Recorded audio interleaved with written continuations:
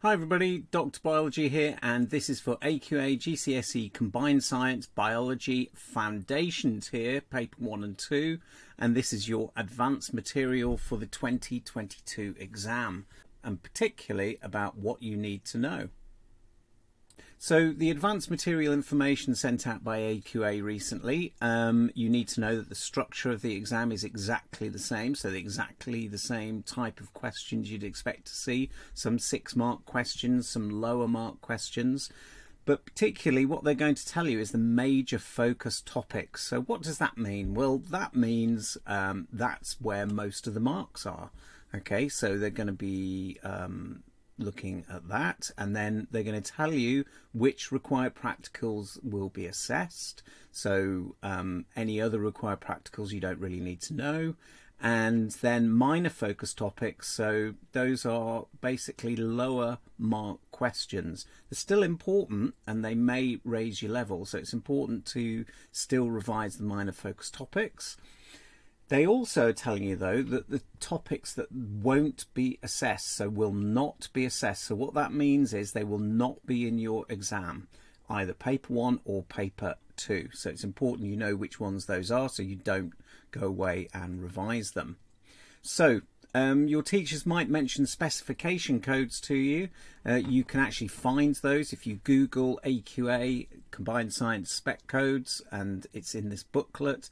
Now, this booklet is really designed for teachers, but uh, it's useful to look at the subject content, and it's useful to see there's the spec codes for cell structure, for example, and animal and plant cells. Okay, so let's get on to the main event here, which is what is going to be in the exam, so which topics. So um, I'll explain this to you. So what I've got on the left-hand side are all the topics, so that's for paper one. Then could be on the paper the small number of marks, the minor focus, the major focus, so that's the most important thing you need to revise, and then the required practicals that will be examined. And then particularly topics not assessed, so those things you don't need to do. Now, I will say for foundation tier, paper one, there is not a lot being taken out at all. Okay, um, you're going to have to revise quite a bit for paper one, but Doctor Biology can help you with that, um, and we'll talk about that in a bit. So, first of all, um, you'll notice in cells or cell biology, you, you won't be examined on osmosis, so that includes the required practical. I think most of you use potato tissue, so that won't be in, and active transport. But what will be in is um, a major focus is cell division, so that's related to mitosis, DNA and chromosomes, spelling mistake there. Cell cycle, mitosis, stem cells. Cell structure will also be in there, and also diffusion, but that's a minor topic you will need to know how to use a microscope. Organisation, again, the, um, hardly anything is taken out, so only coronary heart disease, but there'll be a major focus on digestive system, enzymes, heart, blood vessels, blood, health and risk factors, and cancer. The plant stuff will be a minor focus, so you just need to learn some keywords there. So know what transpiration is, know what translocation is, being able to label the parts of a leaf, for example. Um, you will need to know your food tests, okay? So that will be the Benedict's test for sugars, biuret test for proteins, and the emulsification test for lipids. Again, if you don't know that very well, do check out my videos for the required practicals on Dr. Biology. Um, infection and response. This is quite a big section. So basically, they're going to assess the whole thing. And in fact, notice that it is in the major focus. So this topic, infection and response, you need to spend quite a bit of time revising because this is going to be a major part of paper one. Okay.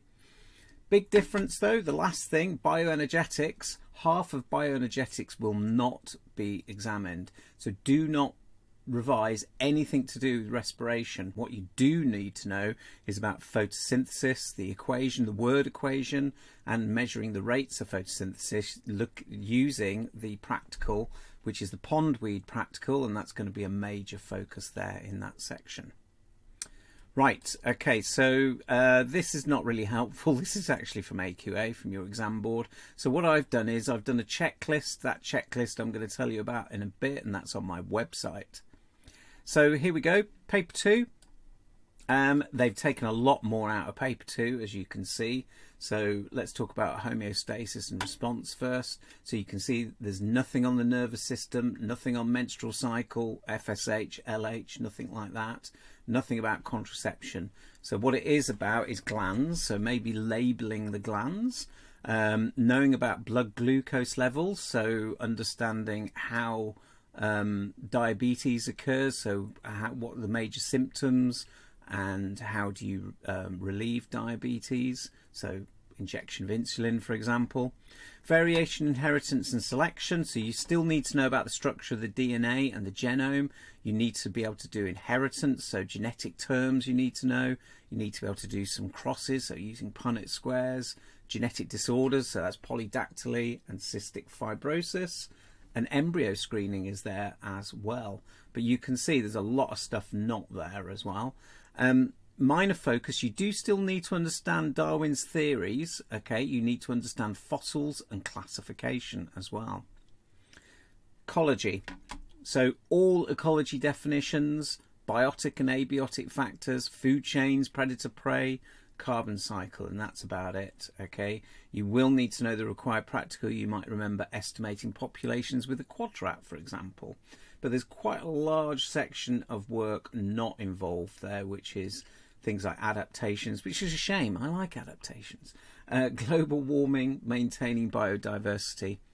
Okay, so as you can see, there is a lot more in paper two that has been taken out as you can see in this list, topics not assessed. Now, in my checklist that I'm going to show you in a minute, I've actually given you a checklist that removes all of these things. So it doesn't confuse you. It tells you exactly what you need to revise for each paper.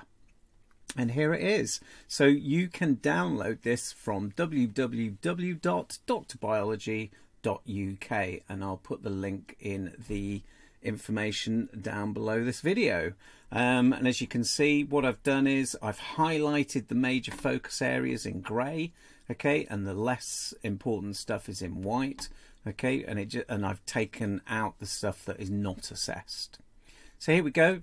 There's my website. Um, if you can't find the stuff, I've done another video to show you how to find the stuff that will help you. There's some resources. I've even included some exam packs as well for foundation tier. Okay, so hopefully that will help you. Okay, take care. See you soon.